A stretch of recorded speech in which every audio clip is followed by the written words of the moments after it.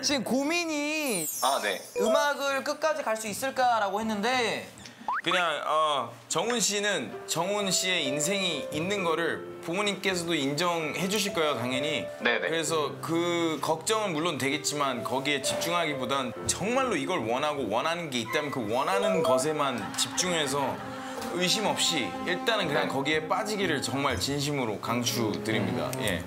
아, 네, 알겠습니다. 정훈 씨 네. 저희가 혹시 정훈 씨가 만든 음악을 좀 들어볼 수 있을까요? 하나 정도만? 아, 네, 음악 준비돼 있어요. 어, 오케이 오케이. 정훈 네. 씨 노래 한번 들어보도록 하겠습니다.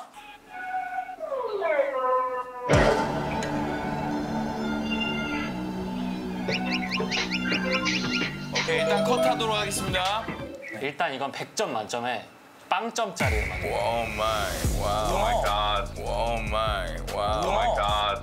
진짜 해드리고 싶은 말이 네. 음악 음악 하지 말고 그냥 접으세요. 에? 음악 하지 말고 그냥 접으세요. 에? 세호 씨 어 떤 것 근데 때문에? 죄송한데 성격 파탄이에요? 아니라 근데 이거 진짜 왜냐면 저희 아버지가 실제로 만화가신데 아버님이 어떤 만화를 쓰셨는지 옛날에 네. 그 무대리라고 직장인 만화가 있어요. 모델이 네, 제가 어렸을 때 만화가 꿈이었어요. 근데 아빠가 와서 저한테 이런 말씀을 하시는 거예요. 너 너무 그림 못 그려. 만화가 하지 마.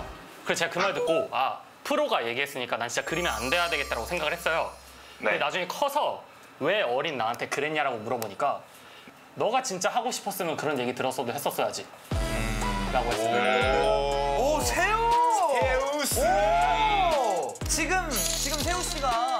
수행 수영 지금 세호한테 밀리고 있는 것 같아. 하면서 기부하네요 지금 엄청 밀리고 있네요 예. 지금 약간 자리를 이렇게 바꿔도 괜찮을 것 같은.